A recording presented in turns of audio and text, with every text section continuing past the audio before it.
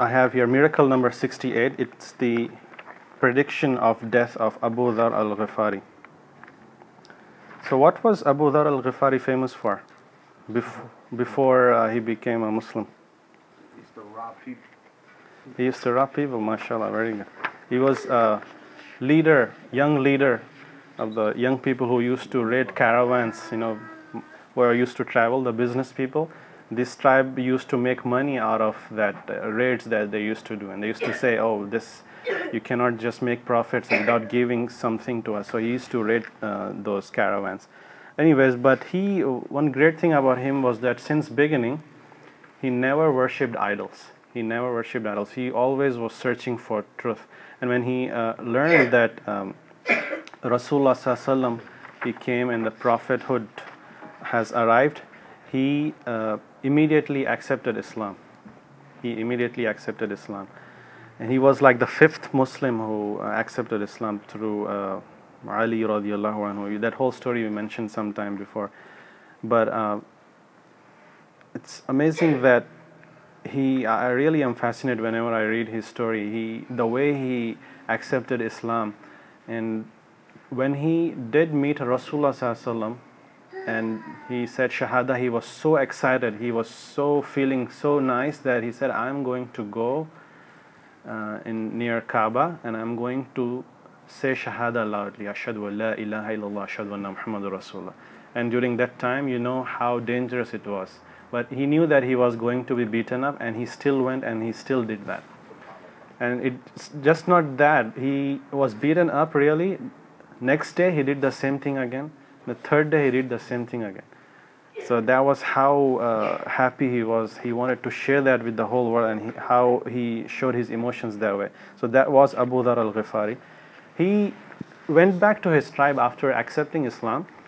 And even after Muslims made hijrah and everything, he was still staying there. And I think about the time of Battle of Trench, Khandaq came, they, he moved to Medina. And during the Battle of uh, Tabuk, we mentioned this battle also earlier, that uh, how all Muslims were preparing to go. Abu Dhar al-Ghifari was in Medina and he wanted to go with them, but what happened was uh, his mount, his camel or horse, whatever, it failed, so he could not go. Uh, he fell, it fell in the in the middle. So what he did, he took all his belongings and he kept on his uh, back and he walked on foot you just trying to catch up with Rasulullah and everybody. So when the Muslims saw that somebody is coming, Rasulullah uh, said that be Abu Dhar, be Abu Dhar. They, they, couldn't figure out, and that turned out to be Abu Dhar al-Ghifari So Rasulullah at that time, he when he came to him, he said that may Allah show mercy to Abu Dhar. He walks alone because he doesn't have a right and he will die alone and he will be raised alone. And he also, uh, what happened that uh, he heard that this comment from Rasulullah and after uh, Rasulullah passed away, he moved to one place called Rabada. It was like a desert region, right? And during the uh, caliphate of Uthman, you can say at that time. So what happened? That uh, area that he was living it was kind of uh, all by himself. It, it was just he uh, his wife and his slave that's it. So what happened? He became sick and he the, the time of death came. And his wife began to cry.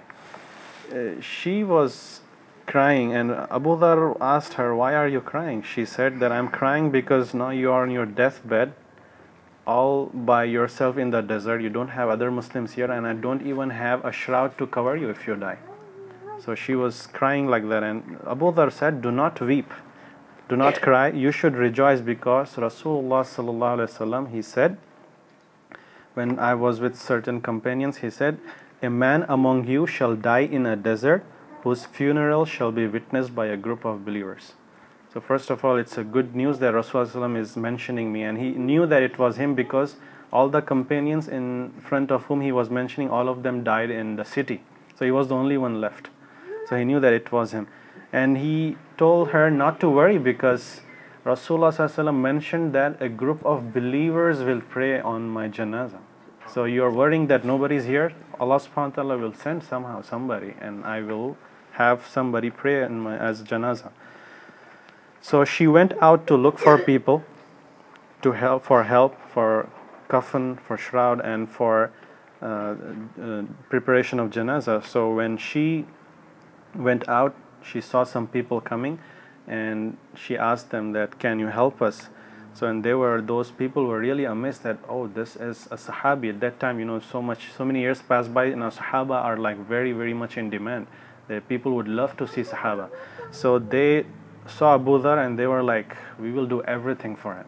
So they had a shroud and they covered him and they prayed janazah on him and they went away. So that was in about 23rd Hijri year. So that's how the prediction of Rasulullah came true. That uh, so many predictions that he will die alone and he will uh, there will be group of Muslims praying on on him as janazah.